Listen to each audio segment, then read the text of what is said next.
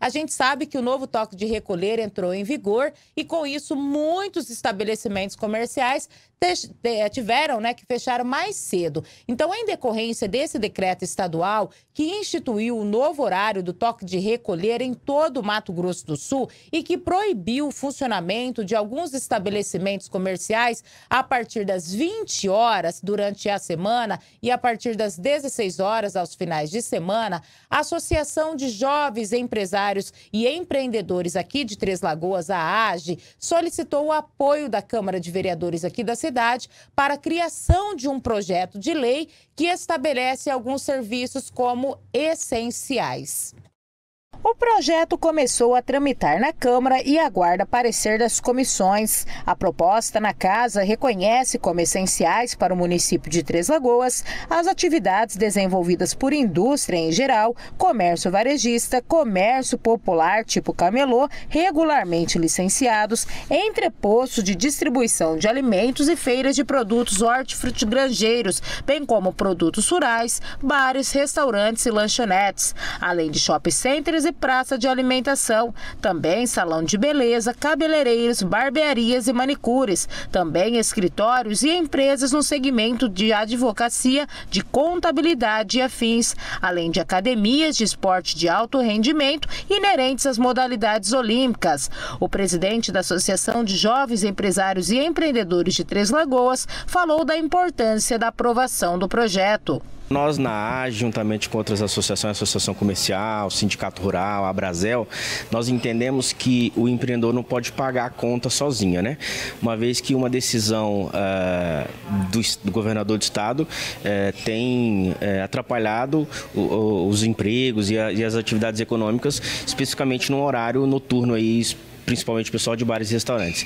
Então nós, é, acompanhando é, outros municípios aí como Bauru, Andradina, nós acreditamos que, que nós precisamos é, elevar a discussão. Acho que esse é o ponto, sabe?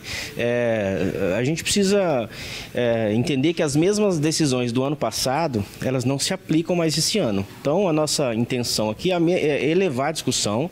Entendemos que no ano passado as decisões eram umas e, e hoje nós precisamos tomar decisões diferentes, né? Porque senão senão, é, como diz a frase atribuída a Albert Einstein, mas não é dele, é, loucura é ter é, as mesmas decisões e esperar resultados diferentes. Então, nós empreendedores, nós queremos é, é discutir num nível mais alto, procurar é, soluções diferentes, inovadoras, para que a gente possa, de fato, ajudar contribuir em todas as áreas da sociedade. Então, esse projeto de lei aí, que é, um, é uma combinação das, das entidades representativas, a AGE, né, a, o Sindicato Rural, a Brasel, a Associação Comercial, nós entendemos que a gente precisa é, é, tornar todo mundo como atividade essencial, porque como, como tem sido disseminado aí, essencial para você é, pode não ser para mim, essencial para mim pode não ser para o outro. O presidente diz que as pessoas estão suscetíveis a contrair a Covid em qualquer hora do dia. Acredita que o vírus ele se intensifica depois de um certo horário. Isso é provado cientificamente, tá?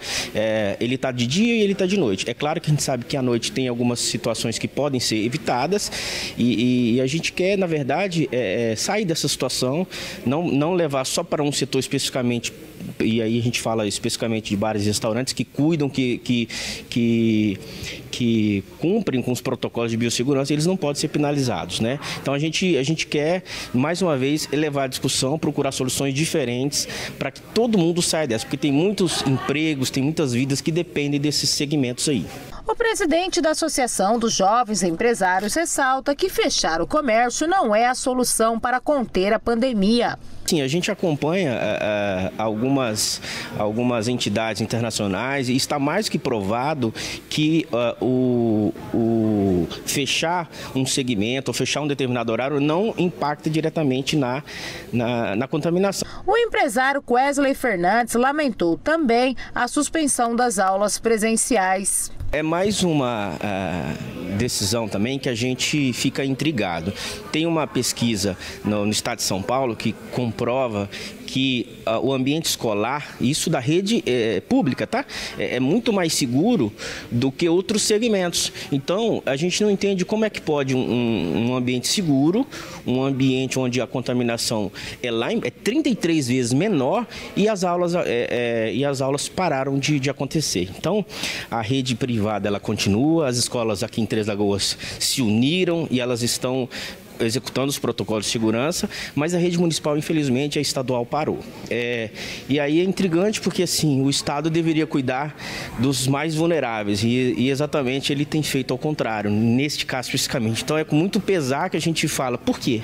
Né? Por que que, será se não dá para discutir? Ah, tem professores contaminando? Tem, vamos, vamos isolar então, vamos testar mais gente, vamos, vamos olhar para o problema e, e tentar uma solução um pouquinho diferente, não, e não sempre a mesma, as mesmas mesmas ações e esperando resultado diferente. Né? Então, acho que o ponto é esse. A gente precisa, precisa discutir mais, a gente precisa pensar um pouquinho mais, com mais estratégia, para a gente sair dessa.